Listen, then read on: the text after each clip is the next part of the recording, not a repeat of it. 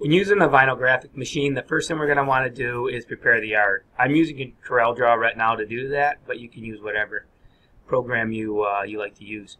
Um, basically, I already did this art right here.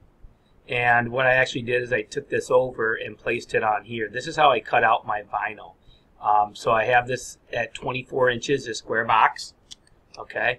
And then basically what I do is I move these components over to um, over to here. And what you want to do is try to make it as efficient as possible. So in this case, if I was making two of these signs, I'd probably put the now leasing underneath.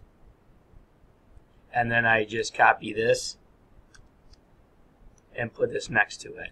Then when they go ahead and make the sign, they'll cut this out and put it in the specific spots on the sign. I'm not going to actually print this one day because it's a lot of vinyl. So let put that back. Uh, I do have a small printout that I need to do, so I'm going to show you on that. Again, here's my 24 inch square. And I want to make this sign uh, to 10,000 because it's going to go on a new building.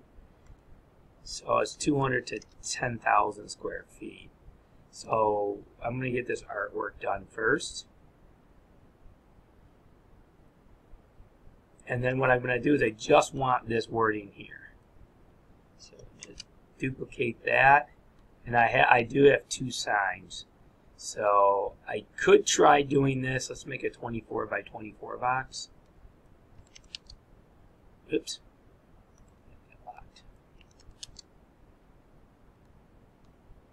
and you'll see if I did it this way, it would actually not print out. So I'm going to have to print this the long way. So I'll just duplicate that. And what I'll probably do is look for a smaller piece. get that out of the way. Know it's going to be under 24 inches.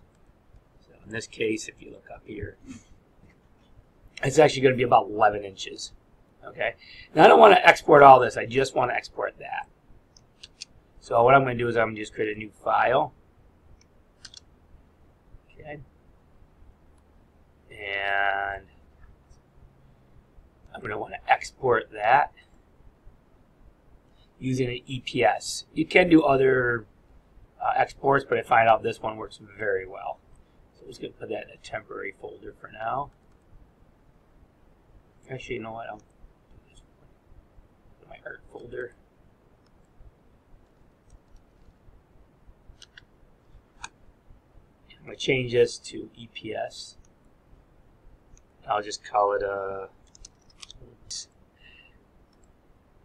Keep popping up. Okay, so now I'm done with this program here. This is the final save for that export. And this is actual cutting program. So this is where you're going to um, use it if someone provides that artwork to you. Basically what you're going to do is import the artwork in this case, I had the, the 200 to 10,000 uh, file there. And you see it came in this way. So this I have this set to the width of the 24 inch vinyl. So I'm going to go ahead and rotate that. I hit the shift key and I'll make sure it's at a perfect 90 degree angle. And I'll put that right there. And then you're going to hit cutting. and we'll select, select the printer, which is a Roland. And then you're going to hit uh.